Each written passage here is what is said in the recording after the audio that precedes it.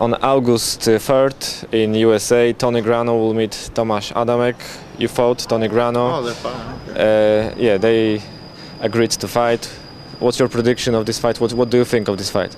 Um, I underestimated Tony Grano. I thought, you know, he, from what I've seen, he didn't look like he really had it anymore. And then when I got in the ring with him, he was moving and boxing, and he caught me with a punch. He's very strong.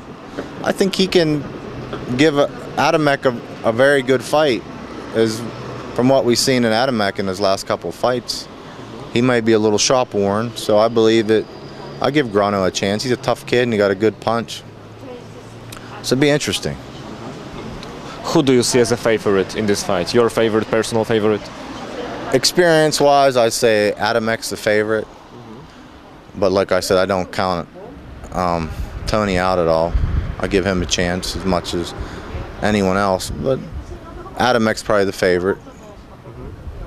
Does Adamek still have a chance, in your opinion, to win in the heavyweight crown?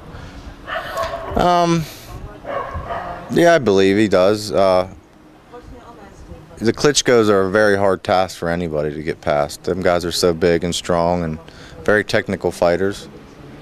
I believe anybody gets up against the Klitschko's is going to have their work cut out for them. And you know, we've seen what Vit- Vitaly did to him the last time. It's it's going to be tough for him, but he has a chance to get back to that.